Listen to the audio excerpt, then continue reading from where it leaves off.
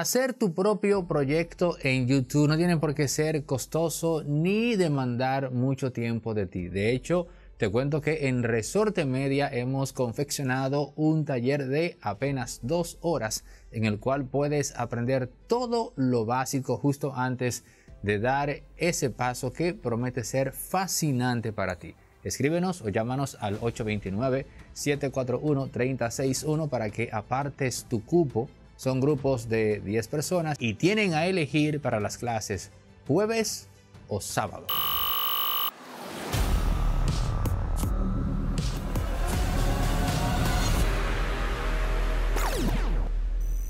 En la Cámara de Diputados se ha dado un piquete a favor nada más y nada menos que del señor Donald Guerrero, flamante ministro de Hacienda. Y lo del señor Donald Guerrero no es despectivo, sino simplemente una persona cuyo nombre está involucrada, está sonando, en fin.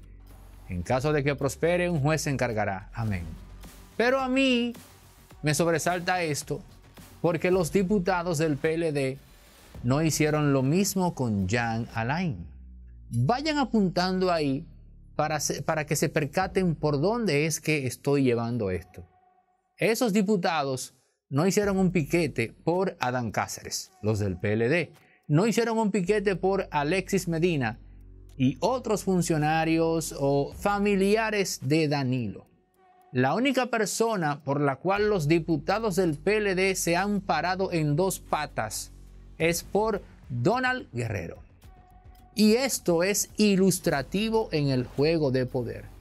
Lo primero es que deja claro ya de manera inequívoca que cuando se dice que lo que puede venir con él es más grande que lo de Jan Alain, no se está exagerando, porque él como tal tuvo la facultad y el poder de arrastrar la voluntad colectiva de los diputados del PLD y hacer que estos abogaran por él, por sus derechos.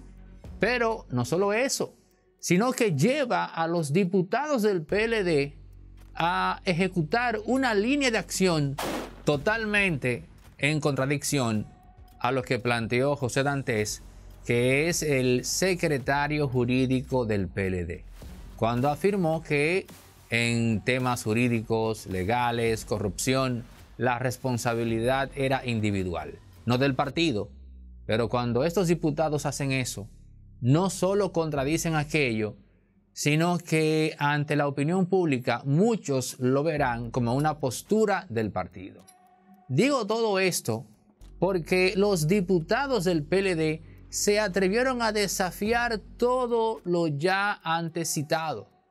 Y si hicieron eso, a mí en particular, duda no me cabe de que gratis no lo hicieron. Y eso demuestra en todo caso entonces el poder del implicado. Señores, ¿ustedes creen que esos diputados salieron a abogar por los derechos de don Donald, por un asunto de vocación, por un asunto de que Donald es un líder innato? No, señores. Esos diputados, bueno, hay que decir la verdad, no solo ellos, sino, sino los de cualquier partido, no van a hacer un asunto así de gratis. Ahí se movió el billete. Imagino el combo. Te voy a dar, te voy a dar 3 millones de pesos para que vayas al Congreso, incidentes y te aparezcas con un t-shirt que diga Free Donald. Un asunto así.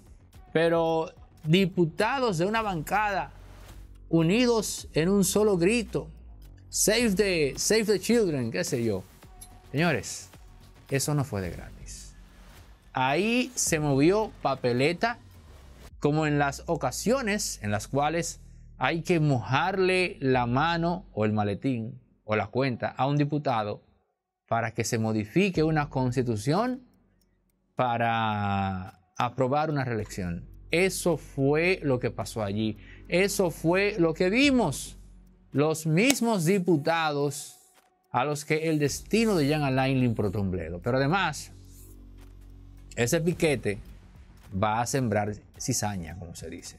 Claro, porque Donald Guerrero es el último en la fila en salir, en sacar cabeza.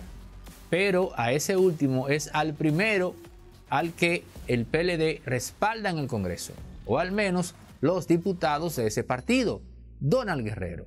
Pero también demuestra, porque con toda seguridad, Danilo Medina, y no lo digo por defenderlo, no, Danilo Medina no está detrás de ese piquete. Detrás de ese piquete está Donald Guerrero, quien está actuando por su cuenta, por lo visto en este caso, a pesar de los múltiples empresarios, supuestamente, que están conectados de él a Luis Abinader y Danilo Medina. Así de complejo es el asunto.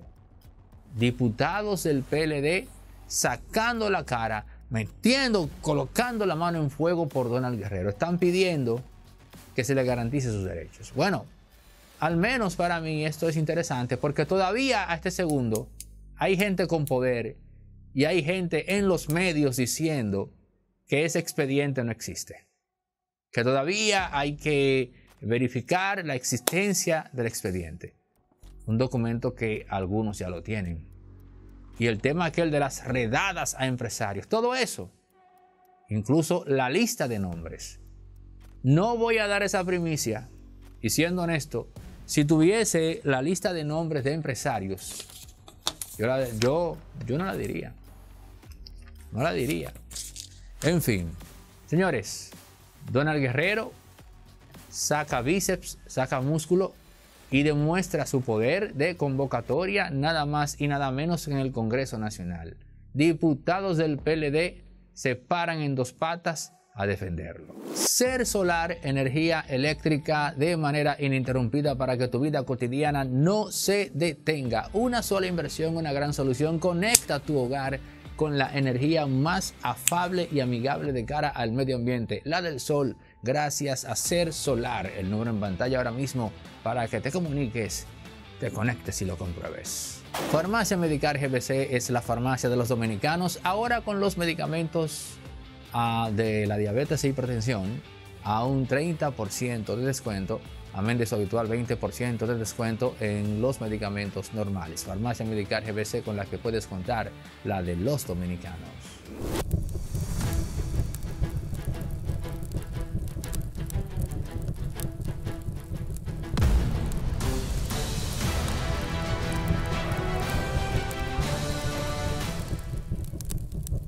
Usualmente cuando se habla de encuestas y sale un candidato arriba, Usted dice, fulano está mintiendo. Fulano está exagerando esos números. Usted ha escuchado esa acusación de cara a Luis Abinader, la ha escuchado con el mismo Leonel Fernández y la ha escuchado con Danilo Medina y su candidato, sobre todo en este caso Margarita Cedeño. Pero, de hecho, yo no sé si lo que voy a plantear ahora ha pasado, eh, digamos, en épocas anteriores. Pero en cuanto a encuestas, tenemos algo irrisoriamente interesante actualmente en el país. Señores, los tres candidatos o las tres figuras políticas importantes del país, eh, Danilo en el PLD, Leonel en el FUPU y Luis Abinader en el PRM, están mintiendo. Están mintiendo sobre sus números. Leonel, por ejemplo, miente al exagerar ahora mismo su intención de voto. Punto uno. Miente el PLD cuando plantea eh, que tiene, digamos, un 38% sólido. Miente. Yo no sé si es un 15 o un 20, pero no me sorprendería saber que es un 15 o un 20. Pero miente Luis Abinader también cuando plantea unos números que pretenden vender que el presidente la lleva suave y sin problema de cara a la reelección. Pero si están mintiendo los tres, ¿qué es lo que en verdad pudiera estar ocurriendo? Miren, yo me la voy a jugar. Con toda seguridad, Leonel Fernández no tiene más de un 15% de intención de voto. Eso digo yo. Lo planteo porque fíjense que hace tiempo Leonel ya no está eh, haciendo, haciendo actividades en las cuales, ¿cómo se llama esto? Cuando tú pasas de un partido a otro, cuando tú eh, no, levantas la mano y todo eso. Juramentas en el partido X. Ya, ya hace tiempo que no está haciendo juramentaciones, Leonel, de miembros del PLD a la fuerza del pueblo. que era el canal natural de crecimiento de ese partido. Y ahora tiene que conquistar votos en el resto de la sociedad. Leonel no pasa don 15, señores. Pero en cuanto al PLD, actualmente al no tener un candidato que aglutine la intención de voto, estamos hablando de que ese partido, ahora mismo su intención de voto real, no ha de pasar de un 25%. Y en cuanto al Partido Revolucionario Moderno, o más propiamente dicho, el proyecto, eh, digamos, de, colocar o de hacer que Luis siga en el poder, señores, no creo que el presidente tenga una intención de voto actualmente que supere el 50 más 1 y que le permita irse en una, en una primera vuelta. Esa reunión con Danilo Medina, entre otras tantas cosas, también para mí significa que el presidente es consciente de que no se va en primera vuelta y que a él le gustaría repetir esa hazaña de irse en una primera vuelta, pero en esta ocasión de la mano de Danilo Medina y no de Leonel. Y usted dirá, pero es que el PLDista no va a votar por el PRM. Y yo le respondo, hay muchas formas con las cuales Danilo Medina puede contribuir para que Luis Abinader se vaya en una primera vuelta. Verlo o verlos juntos es un reflejo de que los números, oigan bien, los números que tiene Luis Abinader no le dan para pasar la reelección en primera vuelta.